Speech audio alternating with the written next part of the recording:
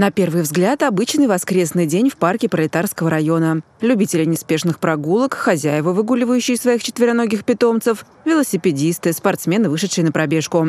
А между тем большинство из бегунов наматывают по асфальтовым дорожкам уже не первый десяток километров. Это участники традиционного пробега «Испытай себя», который ежегодно в конце сезона проводится клубом любителей бега «Одержимые». Те спортсмены, которые преодолевают дистанцию свыше 10 километров, вышли на старт на полтора часа раньше основной группы.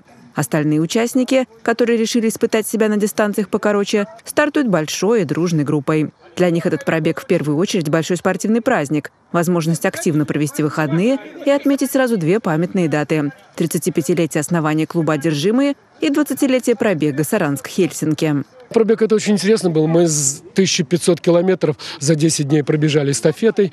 И на следующий день там, а, значит, в Хельсинки а, был а, день, там неделя спорта была. Мы участвовали в этой неделе спорта. И через день мы бежали в Форсу, в городе Форсу марафон, где даже двое участников очень прилично выступили. Среди участников пробега и школьники, и ветераны, в том числе участники того самого исторического пробега Саранск-Хельсинки. Всего около 40 легкоатлетов. В сумме они в этот день пробежали более 600 километров. В соревнованиях среди женщин победу одержала Елена Гордеева, пробежавшая 25 километров 600 метров. Второе место заняла чемпионка Европы по кроссу среди ветеранов Татьяна Меркулова. Ее результат – 22 километра 400 метров. Сама спортсменка вовсе не расстроена тем, что первое место досталось не ей, а наоборот довольна результатом. Ведь такие длинные дистанции она уже давно не бегала. Я даже не рассчитывала на 7 кругов.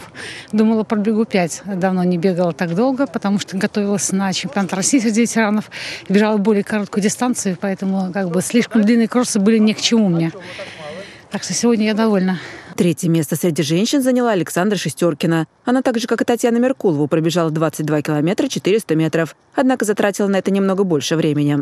У мужчин безоговорочным лидером соревнований стал уроженец Рузаевки, проживающий сейчас в Мурманске, Максим Цыбарев. Он единственный из всех участников соревнований смог преодолеть дистанцию 50 километров. Второе место занял Василий Тагаев, который пробежал 30 километров. Организаторы особо отметили участника, завоевавшего третье место. И это 13-летний ученик 31-го лицея Алексей Савинов, которому, несмотря на юный возраст, также покорилась 30-километровая дистанция. Анастасия Мишкина, Павел Талабаев. Наши новости.